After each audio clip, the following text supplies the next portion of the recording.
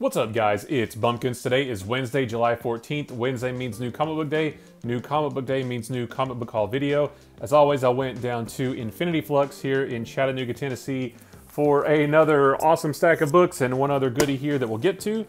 Uh, there's a lot to get through. I thought it was a lighter week than normal, but it turns out it's not. So let's go ahead and jump right into these.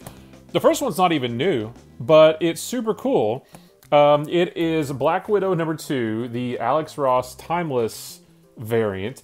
What was really fun is, you know, Black Widow came out, I think it was last, yeah, last Friday, and Infinity Flux did this awesome thing. They just made a little post on Instagram that said, hey, come in, mention the Black Widow movie, and you'll get one of these for free. I thought that was super cool. Um, I went into yesterday to get my DC books, and they still had some of these, so, you know, they just dropped it in the bag. So, uh, thank you, Infinity Flux, for that cool little, um, promotion of the movie, I guess, or partnership of the movie, or whatever you call it. Uh, that was really fun. It was really cool. I also enjoyed Black Widow. Um, thought it was really fun, and it was cool to get this to go along with it.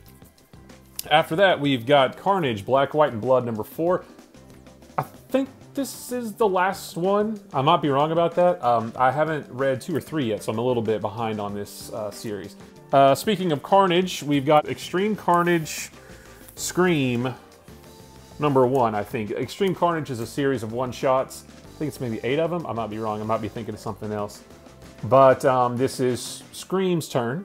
I haven't read the other ones yet. I got the uh, trading card variant. You guys know I love my comic book trading cards, and I like them on the covers as well. Iron Man number 10. I still can't believe that Alex Ross is doing the A covers. Uh, he's done 10 of them now. This is issue number 10 and they all look great. But also, Iron Man number 10, I got the um, the Captain America variant. they they're doing a line of these 80th anniversary Captain America covers where the different heroes of whatever book you're picking up is wearing some variation of a uh, Captain America costume. Uh, this looks like it's Steve Rogers, but sort of like in an Iron Man uh, Captain America suit that is better than the one in the 90s. So uh, I like these covers as well, so I'm going to try to get all of these that I can. The Miles Morales one coming out, I think next week is really cool. Sinister War number one, Sinister, Sinister War number one, the Bagley connecting variant. Um, again, still haven't caught up on Amazing Spider-Man. Don't know what led us to this series, but uh, if all these guys are in it, then it's going to be super cool. And in addition to that, got uh, Sinister War number one, the new variant as well because I love his artwork and that is a super cool Spidey. Sticking with Spider-Man theme, Spider-Man Spider Shadow number four. This series is getting crazy. Um, I won't spoil the ending of the last issue, but uh, the symbiote is still out there and doing things, and we'll see what happens in this one. Uh, and then wrapping up Marvel, I ordered, uh, I got to read the title because I don't know which one this is, uh, Star Wars War of the Bounty Hunters number two. This is the Bossk action figure variant. I ordered this one for my buddy Opie. He's a big Bossk fan. He has a World of Warcraft character uh, that he named. All of his characters and all the MMOs are named Bosc, B-O-S-C. So it's not quite spelled the same, but uh, this character inspired that name across all these MMOs that we play. So had to get that for him. Over on the DC side, got the Action Comics Annual, 2021 Annual. Action Comics is telling an interesting story right now with uh, Superman finding some long lost, I guess you could say, Kryptonians. Um, I'm not sure how much this delves into that story. I think it ties in, but I'm not too sure. But it's a fun story, so uh, we'll see if it ties in. One that I'm loving is Batman the Detective. This is number four. The first three issues have been great. Batman is uh, trying to track down somebody who was killing everyone that he has saved. And the last issue we got uh, some backstory, uh, a little bit more of Batman coming up, learning how to be a detective because it's Batman the Detective. So we got a little bit of a, a backstory about how he learned to be a good detective, and um, I am assuming that this issue is going to be great as well. And then uh, Batman Urban Legends number five. I got the Batgirl variant. I don't remember who the artist is on this one, uh, but I haven't read any of this series yet, but I can't wait to read those. And then Detective Comics 1039, the Bermejo variant, as usual. Um, again, haven't read this one either. Uh, still have all of the Tynion and later run of the Bat books, Batman, Detective, Nightwing, Joker, all that stuff. So uh, I got a big old stack right down here behind me. I don't know if you can see it, but uh, to catch up on eventually. Cover of the year, Flash 2021 annual. Brett Booth doing what Brett Booth does best, drawing speedsters. Um, and that cover is awesome. I do believe this wraps up the story that we've been reading in the Flash with uh, Wally West hopping through different speedsters in time and maybe through in different multiverses, different universes as well. So um, I think this story wraps that up. But regardless, it could be the worst story ever, and that cover would make this issue worth it. That is so awesome. Future State Gotham number three, the B cover. Haven't read this one yet either, or haven't read the series yet either, but I do like the art style inside, the black and white, the more manga-esque version, or the more manga-esque style. Um, so this is cool catch up on that. Infinite Frontier number two. Um, I'm enjoying this series. I'm a little bit lost because I haven't read Death Metal yet, and I think you kind of have to know a lot about Death Metal to really, I mean, to really understand what's going on. Obviously, I get it, but you really need to have read Death Metal to understand everything. Correct me if I'm wrong on that, but there's some things I don't I don't get, and but it's still fun. I'm still enjoying it, and uh, the first issue was good. This one should be as well. Speaking of those Bat books that I haven't caught up on yet, uh, Joker number five, the um, Punchline variant. I haven't read Joker Eddie yet, but uh, got them all for when I'm ready. And then one that I had I didn't even know was coming out this week uh, until I saw it on Infinity Flux's Instagram post. The Nice House on the Lake number one, second print. I do have the first print of this same cover, but the second print is like it's weathered.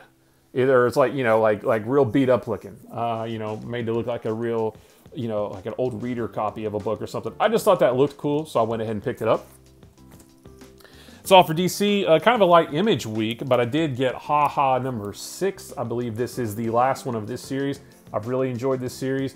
Anthology. Uh, not really horror, um, kind of creepy, I guess, but uh, except the last one was was pretty pretty tame. I don't know what's going to happen in this one. I think there's a Ice Cream Man crossover.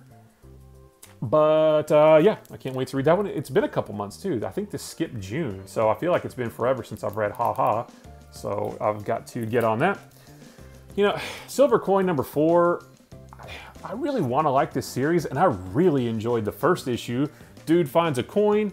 It uh, grants him prosperity in his life, but then it does something bad. Uh, the second issue wasn't really like that. Uh, the coin was sort of kind of in it. The third issue was sort of kind of the you know, it, it, the series hasn't been what the first issue was and what I thought the series was going to be. So maybe this one will be. I'm not sure if I'm going to stick with this one or not, but I'm going to read this one. Maybe I'll get one more. I mean, it's good, but it's just not what I thought it was going to be. So, you know, we'll see. I may, I may jump off this one soon. Skybound X number two, finally. Uh, these have been a little bit delayed. I did read the, uh, I know I read the whole, I read all of Skybound X1. It was real fun. The Rick Grimes 2000 story was a lot of fun with uh, Kirkman, you know, sort of continuing his story from Walking Dead 75, where apparently aliens are the cause of the zombies. It's non-canon, but it's a fun story to tell, and, and this book is doing that. Along with some other, um, we got a, some Birthright in this one. Stillwater, I like that series. Um, so yeah, this this is this is fun. Uh, you know, sort of little anthology of different Skybound properties. As for the rest of the indies, picked up Space Pirate Captain Harlock number two with that cool The Dark Knight homage cover. Uh, that just looks really neat. The first one was fine. I may jump off after this one, but uh, you know, I got to give a book at least two issues to try it out. Speaking of, Bunny Mask number two from Aftershock. The first one was fine, but I didn't understand it. So um, if it doesn't get any more clear after this one, I may jump off this as well, but you know, we'll give it a shot and see. The Lot, number one. I wanna say this is a three-part series. Um, I don't remember what this is about, but I was all in. I'm all in on everything Bad Idea because their books have been great. Um, you know, their their distribution has been questionable, but their books have been fantastic. I've really enjoyed all of them. And again, this is the last of the first issues of the books that they announced way back when. We do have the final five coming later this year, but um, but yeah, this is the last of the first run of their books. Cherry Blackbird number one from Black Caravan, the Scout Scout Comics imprint. Uh, I hate when I say this most every week, but I don't remember what this one was about. But when I did hear what it was about, uh, thanks to Infinity Flux's uh, really cool videos on YouTube, you should guys check them out. Um, I don't remember what it's about. When they told when I heard about it on those videos, it sounded good enough to pre-order. I don't. I've forgotten what it was since then. So uh, it'll be a nice surprise when I read this and say, "Oh yeah, that's what it was about." That was pretty cool. Uh, all right, so Eve number three. I've enjoyed the first two really well. Sort of a post-apocalyptic kind of thing uh, where you know Earth has been flooded, or maybe I'm getting that confused. Yeah, Earth has been flooded, right? In this one, I think she's on a boat. She's got like a robotic teddy bear helping her. At the end of the second issue, she met another group of kids. These kids right here, and we're gonna see if they can save Earth. Seven Secrets number 10. I haven't read the first nine, or I read the first issue and I actually really liked it, which was good enough for me to get the rest of the series thus far. So I just need to catch up on this, but I hear good things.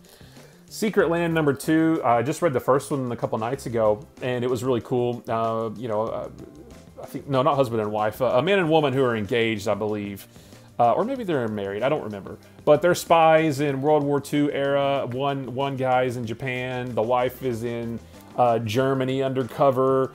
Um, they, you know, the, the, the, the, man thinks that the woman is dead and she gets a message out to him last issue to maybe to, to reveal, hey, she's not, and I've got information and we'll see what happens. But this was an interesting one, uh, so we'll keep going with that.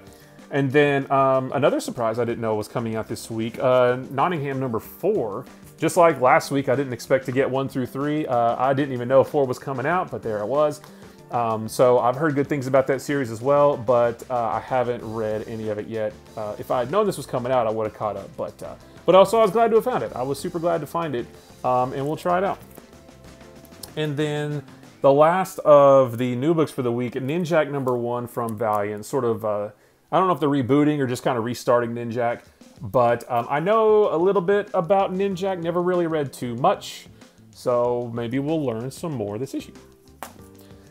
Also dug through the uh, dollar bins and found a few cool things. Kingpin number two, um, I got the first one a while back, um, so figured I'll go ahead and get the second one. And then a few more to add to my Punisher World Journal, Punisher War Journal, Punisher World Journal, Punisher War Journal collection. Uh, number 34, number 37, and number 42. So I don't know what made me start getting these. I just realized that I had a few and just kind of kept going from there.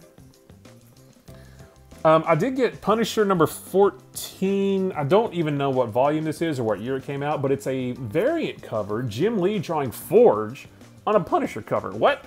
Uh, I had to pick this one up just for the cover because I actually think Forge is one of the most underrated X-Men out there. He's one of my favorite lesser known X-Men and Jim Lee drawing him is super cool. And it's a Punisher book. I don't know if he shows up in this one. I don't know why there's an X-Man on as a variant of Punisher. I don't know what they were doing whenever this came out, but it was cool enough for me to get for a dollar. And then uh, last one of the dollar bins, Punisher G-Force. I actually thought this was a Punisher Gatchaman uh, crossover, but I guess not. I don't know what this story is about, but this kind of, you know, this is sort of the older school, square bound, you know, one shots, um, I don't know what the story is, but it was a dollar, and this sort of tickled my nostalgia bones, so I had to pick that up. And then last but not least, uh, the Green Lantern Season 2, Volume 2 hardcover. Um, Grant Morrison, Liam Sharp. I haven't read Volume 1. I haven't read any of this, either of these two seasons, but um, I have both volumes of Season 1. I forgot to get volume one of season two, but I'll go back and get that. But um, yeah, so we will try that out as well. And that's it, guys. That is a pretty good haul. So guys, um, I appreciate you watching. If you like this video or any of the other videos on my channel, uh, maybe consider hitting the subscribe button. If you like this video, give it a thumbs up. If you didn't like this video, give it a sarcastic thumbs up. If nothing else, leave me a comment down below. Let me know what you picked up this week. If you found any cool dollar bins, did you get any cool variants? Any comics that you didn't know were coming out that you just saw and were happy they were there and grabbed them up, just let me know. Uh, I love comic books. I could talk about them with a room full of people or just to a camera. Guys, remember, comic books are supposed to be fun. They're just another fun form of storytelling. Uh, let everyone like what they like, and you can like what you like. If uh, you like something that someone else doesn't, that's okay. If someone likes something that you don't, that is okay too. It will not hurt you. The great thing about comics is there is plenty for everyone to find. If you don't like something, then there's plenty more to choose from. you can just find whatever you like and everybody can be happy. So guys, I appreciate you watching and I will see you in the next one. Bye-bye.